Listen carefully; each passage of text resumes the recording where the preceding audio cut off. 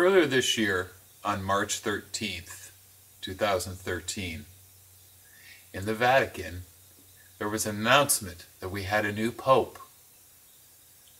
Catholics from all over ascended upon Rome in St. Peter's Square, waiting with anticipation to see who the new pope was. Also, Catholics from all over the world were glued to their televisions, waiting for a cardinal to come out and announce who the new pope would be. The new pope is, was Cardinal Bergoglio. He chose the name of Francis. So now we have Pope Francis, who came out and met everybody in the square.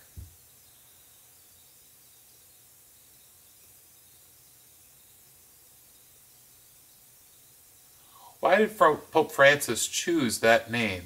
Well, in honor of St. Francis of Assisi.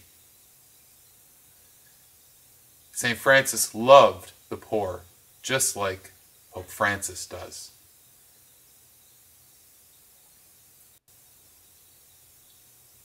St. Francis's life was fascinating, so I'm going to tell you a little bit about it today. He was born in 1181 in the town of Assisi, which is located in Italy. His mother and father were quite well off, and his father was a silk merchant, sold silk to people they used to make expensive clothing. So St. Francis grew up in a very comfortable home with nice clothes and plenty of food and was well provided for. He was very popular and had a lot of friends and would always go out on the town and spend lots of money. He lived a very worldly life.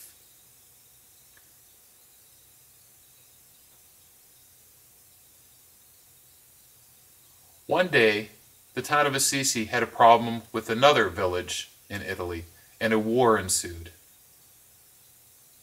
All of St. Francis and his friends joined the army to fight in the battle. Assisi lost. And all of them became POWs, prisoners of war. St. Francis stayed in jail for one year. And during that time in jail, he had a lot of time to contemplate and think about his life and think about his life up until that time, about how foolish he had been, and how he had not been serious about his faith, and he hadn't deepened his relationship with God. When the year was over and he was out of prison, all of his friends were excited to see him, but noticed that he'd undergone a tremendous change. The old partier St. Francis was gone, and there was a new, more contemplative, thoughtful St. Francis. In the past, he would spend lots of money on frivolous things, but now he gave his money to the poor. In the past, he would go out and party and enjoy having a great time, but now he would prefer to spend his time with poor people. And he used to like being around people all the time, but now that he was out, he would love to walk alone through the countryside. And he enjoyed that because he liked to look at all of the beautiful things that God had created the tree, the sky, the earth, all of the animals, even looking at the rain, wondering how God could make that, or even the snow. And he applauded God for all of that. One day he was walking in the countryside and he walked into an old dilapidated chapel where he began to pray. All of a sudden he heard the voice and he looked up at a cross. It was a painting of Jesus on a cross, and it spoke to St. Francis. Jesus looked at him and he said, Francis, Francis, Francis, repair my house that has now fallen.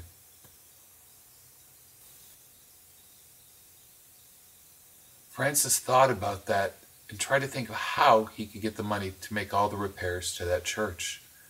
And then he realized he could take stuff from his father's business, all those nice clothes, and sell them and raise money to pay for the repairs. He did that, and his father was furious, beat him, and threw him into a court. And in that court, the head of it was the bishop. His father told the bishop everything his son had done. Francis stood there, looking at his father, and said, Fine, father, I am no longer your son. Everything you have given me, I give back to you. Francis took off all of his clothes, and naked he walked out of his family for life.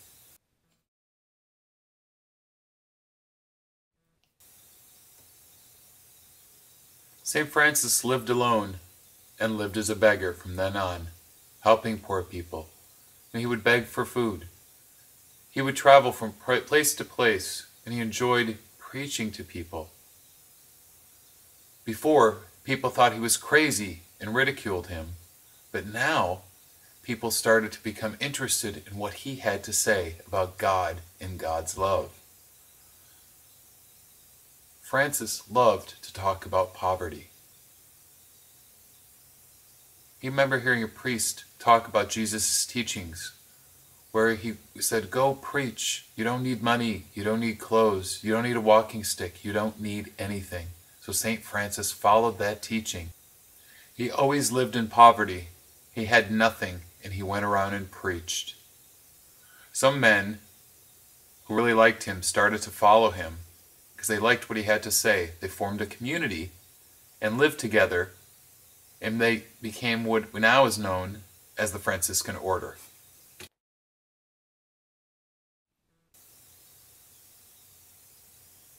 Francis and his group, or order, went to Rome to meet the Pope for his blessing. When they arrived, the Pope took one look at them, and because of their impoverished look, he sent them away and simply dismissed them. Later that night, while the Pope slept, he had a dream. He saw his cathedral, St. John Lateran Basilica. In his dream, the Pope saw the basilica crumbling and falling, but yet he saw St. Francis underneath it standing, holding it up. And that day he knew that God was using Francis to help the church because at that time the church was experiencing so much turmoil.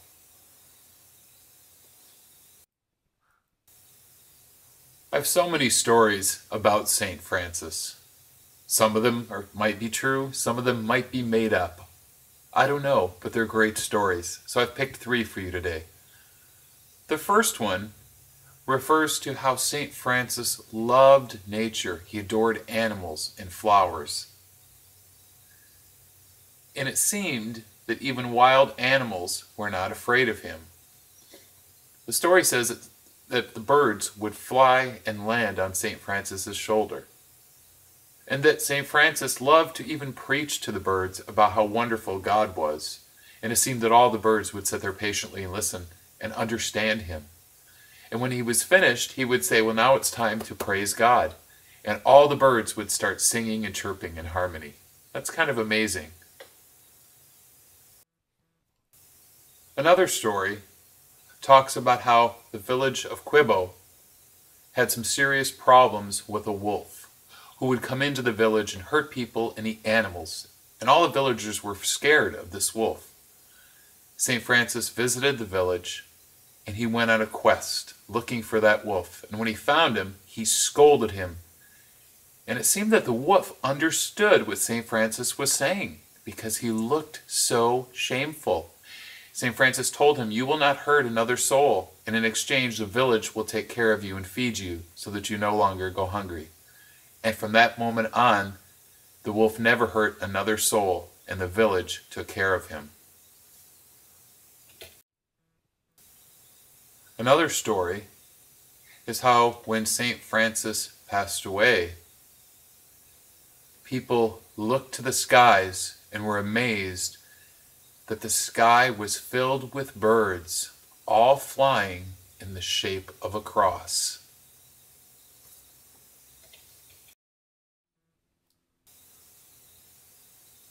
St. Francis is one of the most revered and popular saints in the Catholic Church.